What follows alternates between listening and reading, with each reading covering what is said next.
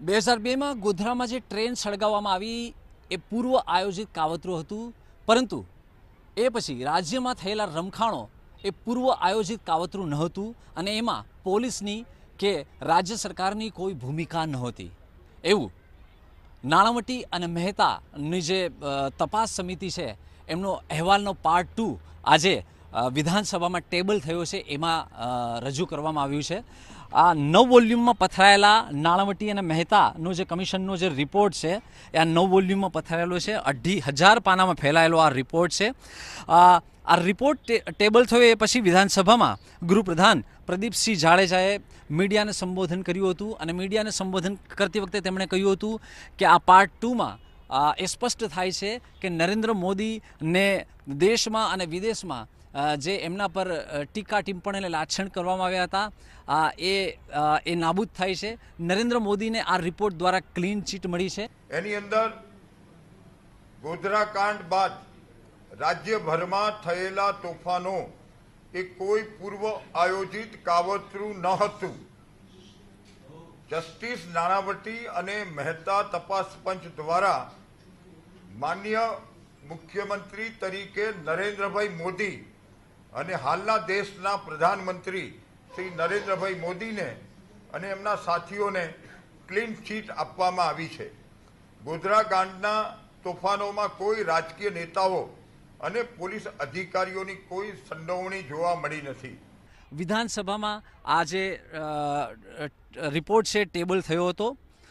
અને ત્યારબાદ પ્રદીપસિંહે એમ પણ જણાવ્યું હતું કે ગોધરા કાંડ બાદ જે કોઈ રમખાણ થયા હતા એ પૂર્વ આયોજિત કાવતરું નહોતું અને તેમાં તત્કાલીન મુખ્યપ્રધાન નરેન્દ્ર મોદી તેમજ પોલીસ તંત્રની કોઈ ભૂમિકા હતી નહીં.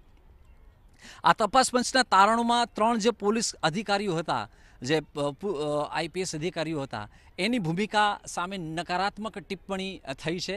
એવું તપાસ પંચનો અહેવાલ ટાંકીને પ્રદીપસિંહ જાડેજાએ કહ્યું હતું. એ ત્રણ જે આઈપીએસ અધિકારીઓ છે, એમાં રાહુલ શર્મા આરબી શ્રીકુમાર અને સંજીવ ભટ્ટનો સમાવેશ થાય છે. આ ઉપરાંત જે એનજીઓ છે, જનસંઘર્ષ મંચ અને તિસ્ત સેતલવાડની સંસ્થા સામે પણ એમની પણ આકરી નોંધ આ રિપોર્ટમાં લેવાઈ છે એવું પ્રદીપસિંહ જાડેજાએ કહ્યું હતું. નરેન્દ્રભાઈ મોદીની છબીને વિશ્વની અંદર બગાડવા માટેના અનેક એનજીઓ અને કોંગ્રેસ દ્વારા જે કાવતરા કરવામાં આવ્યા હતા, એ નાણાવટી પંચના આ રિપોર્ટ દ્વારા એનો પર્દાફાશ થાય છે અને નરેન્દ્રભાઈ મોદી અને એમના સાથીઓને ક્લીન ચીટ એ નાણાવટી કમિશન દ્વારા આપવામાં આવે છે.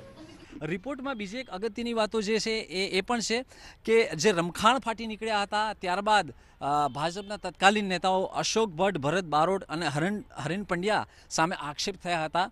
તો એ આક્ષેપ તેમ એ ત્રણેય નેતાઓને આ રિપોર્ટ દ્વારા ક્લીન ચીટ આપવામાં આવી છે એવું પ્રદીપસિંહ જાડેજાએ આ અહેવાલને ટાંકીને જણાવ્યું હતું. પૂર્વ ગૃહમંત્રી સ્વર્ગ હરેનભાઈ પંડ્યા, પૂર્વ મંત્રી શ્રી ભરતભાઈ બારોટ અને પૂર્વ સ્વર્ગસ્થ મંત્રી શ્રી અશોકભાઈ ભટ્ટ જેના સંદર્ભમાં જે આક્ષેપો કરવામાં આવ્યા હતા તેઓને પણ ક્લીન ચીટ આપવામાં આવી છે.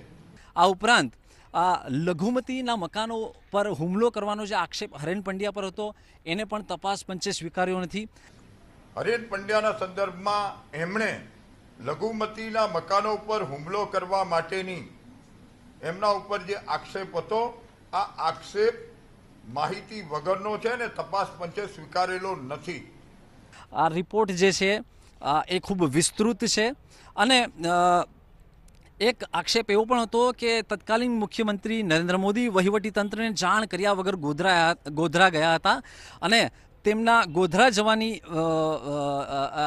કોઈને જાણ કર્યા વગર ખાનગી મુલાકાત લીધી હતી. તો આ રિપોર્ટ દ્વારા એ વાતનું પણ ખંડન કરવામાં આવ્યું છે.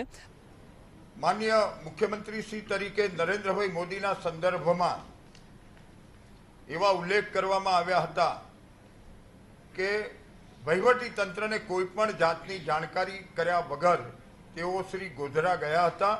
પરંતુ ઉપરોક્ત કિસ્સાની અંદર એમના ગોધરાના પ્રવાસની વ્યવસ્થા કરનાર અધિકારીઓને જાણ હતી અને ગોધરાની જવાની બાબત એ કોઈ ખાનગી બાબત ન હતી.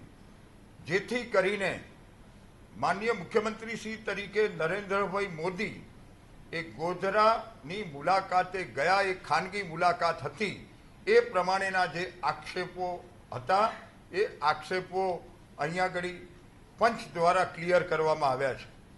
એક સૌ બહુ મહત્વપૂર્ણ આક્ષેપ એવો એવો પણ થયો હતો કે જે ગોધરાની જે ટ્રેન સળગી એ પછી મુખ્યમંત્રીના આવાસ પર એક બેઠક બોલાવવામાં આવી હતી, જેમાં પોલીસના અધિકારીઓ હતા અને ત્યાં એવું નક્કી થયું હતું કે લોકોનો જે રોષ છે એ ભલે ભભૂકતો અને તોફાનો જે થઈ રહ્યા છે, એની સામે કોઈ પગલાં લેવામાં ના આવે આ હાડા કાન કરવામાં આવે. તો પ્રદીપસિંહ જાડેજાએ એને એનું પણ ખંડન કર્યું છે.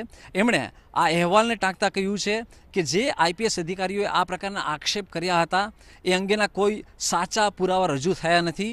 એટલે આવી કોઈ મિટિંગમાં આવી કોઈ સૂચના આપવામાં આવી જ નથી. મુખ્યમંત્રીશ્રીના નિવાસે ઉચ્ચ અધિકારીઓની મિટિંગ કરવામાં આવી હતી અને મિટિંગમાં કોઈ પણ પ્રકારના તોફાનોમાં પગલાં ન લેવા અને ગુસ્સો ઠાલવવા દેવાઓ.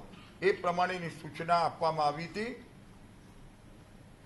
સરકાર સામે તે વખતના આઈપીએસ અધિકારી દ્વારા જે આક્ષેપો કર્યા છે, એના અંગેના કોઈપણ પ્રકારના સાચા ફેક્ટ્સના પુરાવા રજૂ કરવામાં આવ્યા નથી અને આવી કોઈ મિટિંગમાં આવી કોઈ સૂચના આપવામાં આવી નથી.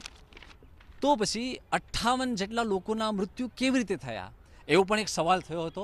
તો પ્રદીપસિંહ જાડેજાએ કહ્યું હતું કે જે લોકોના મૃત્યુ થયા છે એ માટે એસઆઈટીની તપાસ નીમવામાં આવી હતી.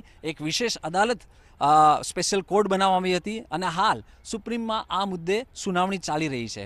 અઠ્ઠાવન જેટલા વ્યક્તિઓનું ત્યાં જે પોસ્ટમોર્ટમ કરવામાં આવ્યું હતું, આ પોસ્ટમોર્ટમના સંદર્ભમાં એ વખતના આરોગ્ય મંત્રી અશોકભાઈ ભટ્ટ સામે આક્ષેપ હતો.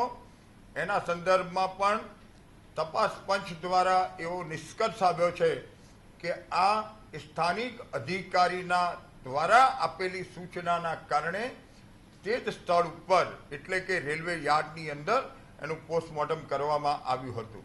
એક મહત્વપૂર્ણ વાત એ પણ કરી છે પ્રદીપસિંહ જાડેજાએ કે ગોધરાની જે ટ્રેન સળગી એ પૂર્વ આયોજિત કાવતરું હતું અને એ વખતે ગોધરામાં નગરપાલિકામાં કોંગ્રેસ હતી અને કોંગ્રેસના કેટલાક સભ્યો ઉપર આની આની શંકા સેવાઈ રહી છે એટલે એ વાતમાં પણ તથ્ય છે. એટલે કોંગ્રેસના નગરપાલિકાના કેટલાક સભ્યો ગોધરામાં જે ટ્રેન સળગી એના માટે જવાબદાર છે એવો પણ તેનો આક્ષેપ હતો.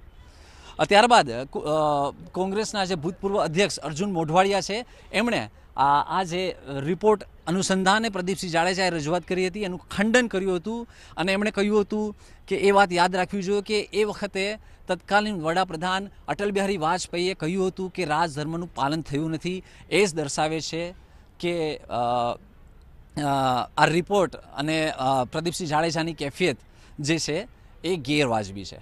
તેજસ વૈદ્ય. બીબીસી ગાંધીનગર.